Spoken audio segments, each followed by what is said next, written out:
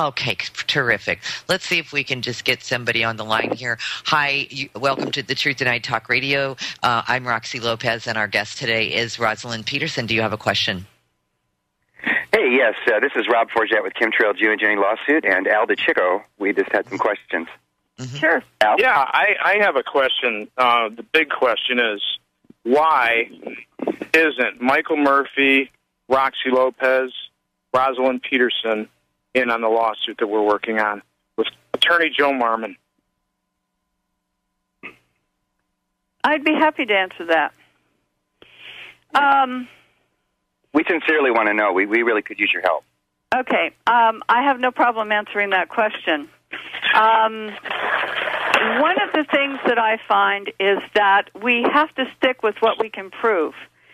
We have to stay away from opinions and beliefs. And if we go to sue someone, we have to have enough rock solid evidence that is so tight to make a case so that we don't lose the case and that Okay. we have uh, many, many people, in other words, experts in various fields, to testify on our behalf.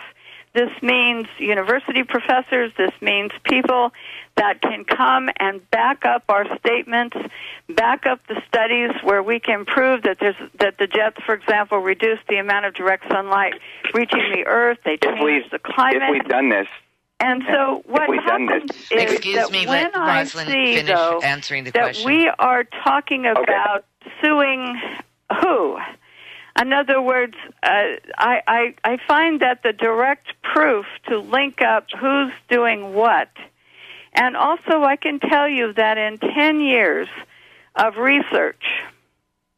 Um, other than aluminum coated fiberglass chaff releases by the U.S. military, I have no proof whatsoever that the jets are releasing anything but jet fuel emissions. Now, I can prove that the rocket programs in the United States are releasing trimethylaluminum, aluminum oxide, barium. I can prove the rocket programs in the United States are just coating us with toxic chemicals all the time. And these programs are listed at uh, NASA, NOAA, uh, the U.S. Air Force, the U.S. Navy. I mean, these there's, there's tests going on all the time. The U.S. Navy CARE program is a prime example. So I can prove. I have so many documents I couldn't even put them all on the internet, even if I tried, because there's Pentagon reports. There's all kinds of reports dating back 20, 30 years. When it comes to proving what the jets are releasing, I don't have the documentation and I don't have a single study. I don't have a single solitary verifiable evidence that the jets are releasing anything except military releases of aluminum coated um, fiberglass by um, military aircraft. So there's Our legal a team has that information for now. me in putting Oh, my sorry. name or associating myself with something where I can't back it up. Now, if anybody has direct proof, they've got university studies, if you've got documents, government documents, if you've got reports, then that makes a big difference. But right now, after 10 years of research, I can't do it.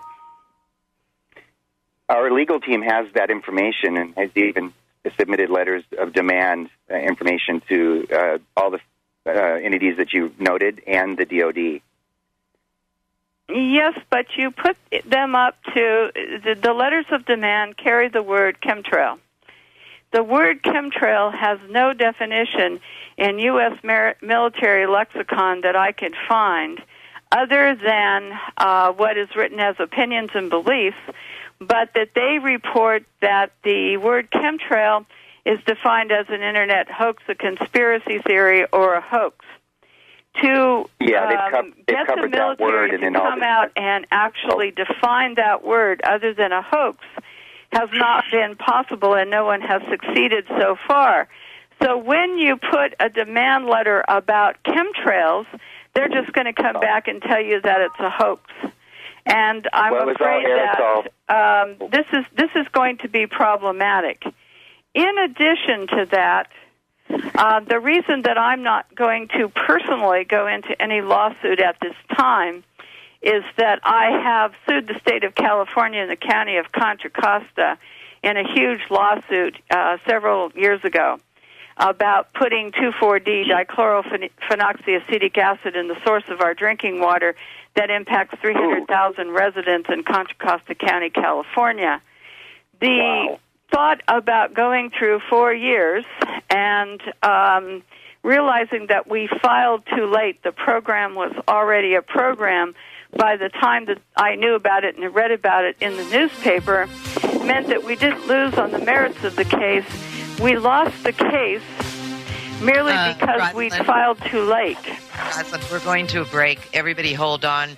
Uh, caller, if you want to stay on the line, I'll just mute you through the break and we'll bring you back on. Uh, where you're listening to the Truth Denied Talk Radio. I'm Roxy Lopez. Our guest today is Rosalind Peterson. We continue with the activism and what all of all of the public can do to change outcomes and ways that have worked. Rosalind, um, you were just uh, talking about, um, you know, the effective ways. And um, uh, as promised, um, I'll uh, let the caller back onto the air.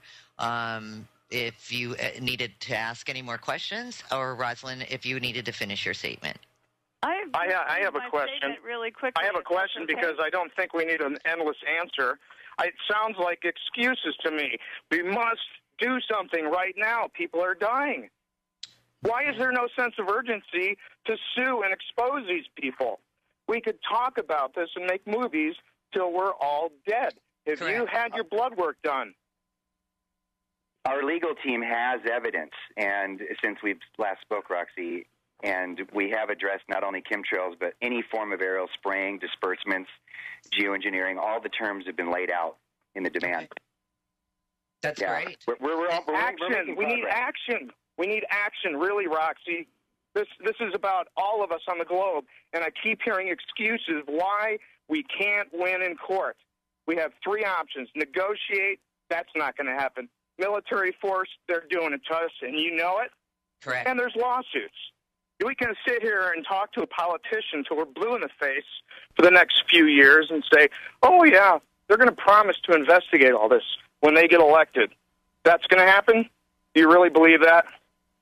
Right. And, We have and- and documentation just, of- Just for the sorry. record, gentlemen, um, Rosalind was just about to say what happened with the lawsuit that she Oh. did uh, try to try to put forward. And Oh, it I- I've heard this already. clear- It's another hello, excuse. Hello. We need I'll to move forward. If you keep interrupting, We need to move This isn't- forward. This isn't that kind of show. So if No. we can all have respect, I have the floor for a moment. Yes, ma'am.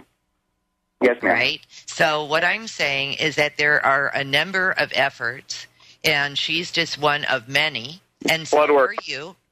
So there's no dissing on this show. We're listening. I'm listening. Um, Got it. Rosalind, go ahead and finish your statement of what you encountered. Well, what Blood I work. can say is that what I encountered with the lawsuit that I initiated is that since we had filed too late, the uh, cost of paying for all of these uh, lawyers on the other side, Blah, blah, 11 of them, court costs, all the fees, four years it took. And this was no slow process. A lawsuit can, can go for four years, five years, six years, and it can take a long time to get through the courts. It's not like you go to court and instantaneously something happens. There's filing on both sides, and the process can be enormously time consuming. My idea behind all this, though, and where I think we could make a big difference, is that we have to elect people at the local level. In other words, this is an election year. We have to elect people that are going to support what we want, change that we want. We have to get, um, for example, with the Navy, our County Board of Supervisors um, opposed the Navy options here in Mendocino County, Marin County, a whole host of counties, because we took the facts to them. We brought it forward to them. We educated them, and they decided to go against the Navy position. This is powerful. Um, in Oregon, this happened in Oregon as well. Our congressman stood up for us because we told him we wouldn't ele- reelect him unless he stood up for us, and by golly, he did. And I'm really proud of all of the efforts that he went through to do this. And Rosin, so the point when that we talk about clear you know uh, because you know a and what the lawsuit about chemtrails on- and different things, well, you've got to be prepared that this is going to take a long process and that you might not win. And so, correct. therefore, I think having elected officials in office who are going to make a difference, put forth resolutions. Um, and one last thing we didn't like GMOs in Mendocino County, so what did we do? We got the Board of Supervisors support and we put this on the ballot and we voted out GMOs coming into our county in Mendocino County in 2004. The people out out even though we were out sent, spent by Monsanto and the GMO companies and everyone, we beat them. And you see, the thing is, we beat them because we were well educated in the subject and we got it stopped here. So I think at the local level, when you start to change things in an election here, you start to take action locally and educate people, you're going to have a viable force that's going to move out to other states, other counties, elsewhere. And I think that that's powerful and it can be done relatively quickly uh, rather than over years and years of court uh, filings and Correct. delays. And and and Rosalind, um, you know, and I'll let you guys come back on. You're you're muted right now, and we have callers behind you, so I'm giving you the the time and the opportunity on the show. So all I can ask you before I let you back on the air uh, uh, to just have some respect. Um, Al made a point, you know, we've got to do this, we've got to do this now. And you're making a point that, uh, Rosalind, that it, this is an expedient. This is much quicker way, especially in an election year. And we've got what 110, 109 days left. So we've got the, the, the we could we can create that pressure and get something done within the next hundred uh, days or even less.